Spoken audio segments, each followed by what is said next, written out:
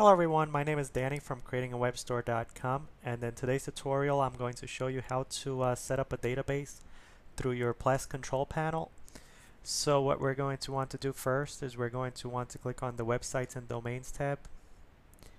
Once on this page we're going to click on Databases and once we are here we're going to click on Add New Database and for the database name you can enter anything you'd uh, like. For example I'm going to enter in uh, my store because it will be easier for me to remember. And then I'm going to uh, click on the OK button.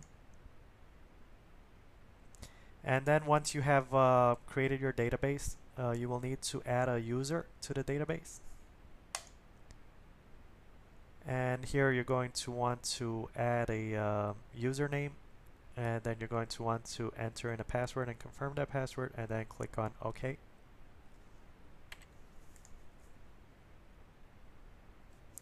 And then once your database is ready, uh, you can uh, click on the web admin uh, icon here to uh, access PHP uh, uh, MyAdmin.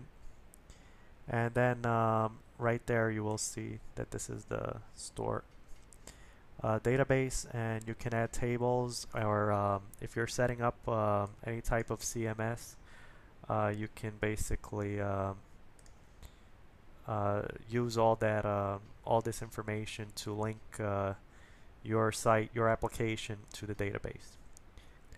For example, on uh, WordPress uh, setup, you would have your database name, which would be this right here, in my case, my store.